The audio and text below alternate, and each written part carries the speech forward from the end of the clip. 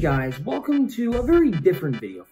So I did a community poll to see if you guys wanted me to talk about Me Carson and the allegations. Now, for this video, I actually don't know if I'm going to do that because mainly I want to actually start a new series on my channel where I talk about YouTubers and talk about my opinion on the YouTuber based on their content and the personality they present them in their videos. Basically judging a content creator based on their content and how they present themselves. Now, I'm going to talk about the allegations at some point in this video, but a lot has changed about the allegations to the point where I don't really have that big of an opinion on them. And I probably won't discuss the allegations as much. So who is Call Me Carson? Well, Call Me Carson is a variety gaming channel. He makes many gaming videos by playing different games. For example, he plays Uno, he plays Rocket League, he plays whatever this blocky mess is, and all sorts of other games. And honestly, I think his content is definitely well made. The editing seems top notch, cuts are seamless except for a couple times, but that's understandable.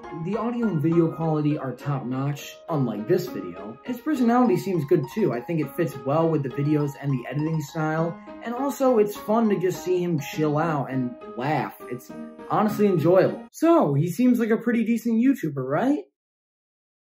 That is if the drama didn't start. Now, I don't really want to get into my full opinion on the drama, mainly because there's so many other channels who've already done that and basically clickbaited off of it. So the allegations are that Carson sexed a minor, and honestly, those are some major allegations and they could really demoralize a person. It can completely ruin their outlook and even affect their content and who they work with. A majority of his friends who he plays with are not working with him anymore. So yeah, that's definitely a big problem for his content.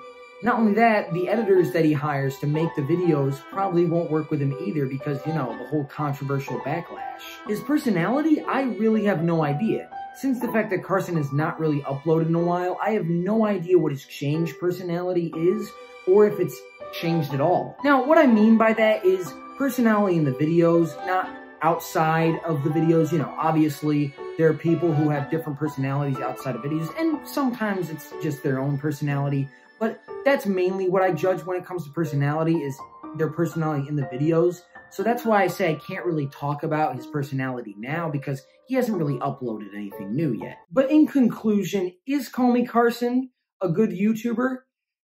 Yes and no. After all this drama, it has changed my outlook on Me Carson, but looking back at what he actually was back then, it really is good. He was making high level content. Honestly, it's just sad to see things happen to YouTubers like this. I feel as if the drama never happened, Carson will continue making his great content.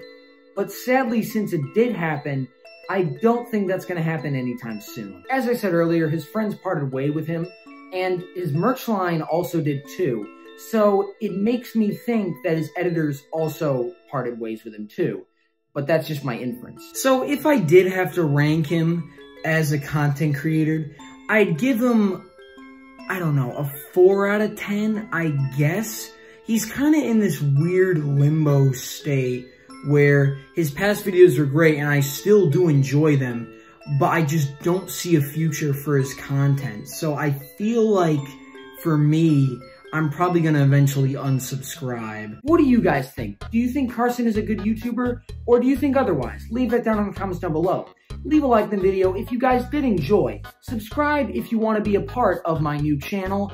And, you know, if you want to unsubscribe later, that's totally fine as well. Anyways, guys, I hope you guys enjoy. And I'll see you guys in my next YouTuber analysis. Bye!